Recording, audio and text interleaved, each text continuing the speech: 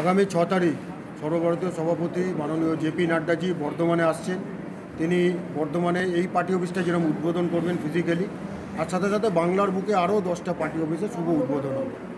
তার সাথে সাথে জেলার কার্যকর্তাদের বৈঠক হবে, তারপরে প্রেস মিট হবে, তারপরে সমাজের সমূহ অর্থাৎ সমাজের বিশিষ্ট ব্যক্তিদের সাথে সিলেক্টেড ব্যক্তিদের সাথে বৈঠক হবে। আর একদম শেষে বুথের যারা প্রেসিডেন্ট আছেন, তাদেরকে নিয়ে ভার্চুয়াল র্যালি হবে। আপনারা জানেন যে রাঢ়বঙ্গ জোন এটা। আর এই রাঢ়বঙ্গ জোনে আমাদের সাংগঠনিক সাতখানা জেলা আছে। বর্ধমান আছে, কাটোয়া আছে, বীরভূম আছে, পুরুলিয়া, বাঁকুড়া, বিষ্ণুপুর এবং আসানসোল। আর এই সাতটা জেলার জেলার নেতৃত্বদের সাথে বৈঠক হবে। আর সাথে সাথে জেপি নাড্ডাজির সাথে কেন্দ্রীয় সাধারণ সম্পাদক মাননীয় কৈলাসজি থাকবেন, শিবপ্রকাশজি থাকবেন অরবিন্দ মেননজি থাকবেন আর আমাদের রাজ্য সভাপতি মাননীয় দিলীপ ঘোষ থাকবেন। তারা উপস্থিত থাকবেন এবং জেলার সমস্ত নেতৃত্ব স্থানীয়রা, সাংসদরা আছেন, সাংসদরাও উপস্থিত থাকবেন। দেখুন, নির্বাচন তো দোরগোড়ায় আর একুশে নির্বাচনকে কেন্দ্র করেই এই বইটা হবে। কী স্তরে সংগঠন আছে এবং আগামী দিন আমাদের কি করতে হবে, পশ্চিমবঙ্গের পরিস্থিতি আপনারা বুঝতে পারছেন কী অবস্থায় আছে। কারণ এখানে হিংসার রাজনীতি হয়, এখানে গণতন্ত্র নেই, এখানে আইনের শাসন নেই। আপনারা রোজ দেখছেন, এখন উৎসবের মরশুম চলছে। আর রোজ একটা করে বিজেপি কার্যকর্তাকে খুন করা হচ্ছে। যেন কম্পিটিশান চলছে এখানে। তৃণমূলে গুন্ডাদের সাথে পুলিশে। মমতা ব্যানার্জির কাছে কে বড় শক্তি সেটা যেন প্রমাণ করছে। মাফিয়ারা প্রমাণ করতে চাইছেন যে আমরা খুন করে বড়।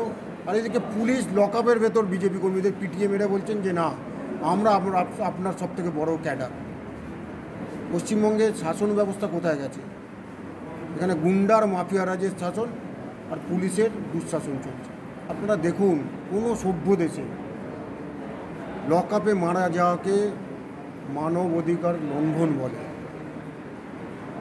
বুদ্ধিজীবীরা কোথায়? যারা তৃণমূলপন্থী বুদ্ধিজীবী, তারা কোথায় গেলেন আজকে তাদের রাস্তা দেখা যাচ্ছে না। তারা উগ্রপন্থীরা মারা গেলে সরব হতে পারেন। আর অন্য দলের বিরোধী দলের কর্মীরা মারা গেলে তারা রাস্তায় নামতে গোপাল কৃষ্ণ গান্ধীর সময় কী হয়েছিল? রাজভবনটা তৃণমূলের পার্টি অফিস হয়ে গেছিল। তৃণমূল ভবন হয়ে গেছিল। ভুলে যাচ্ছেন মমতা ব্যানার্জিরা? রাজভবনটাকে তৃণমূল ভবন করে দিয়েছিল। আর রাজ্যপাল মানুষের কথা বলছে সংবিধান রক্ষার কথা বলছেন। সঠিক কথা বলছেন। আর তাই জন্য তাদের গায়ে লাগছে। একদম পুরো বকরার লড়াই। বকরার লড়াই হচ্ছে কাঠমানির লড়াই হচ্ছে। মমতা ব্যানার্জি বলেছে, পঁচিশ তুমি নাও, পঁচাত্তর আমায় দাও। পঁচাত্তর ওখানে চলে যাচ্ছে, ওখানে কোনো লড়াই নেই। একা পিসি আর ভাইপো, কিন্তু নিচের তলায় পঁচিশ নিয়ে মারামারি খেয়েও খেয়ে।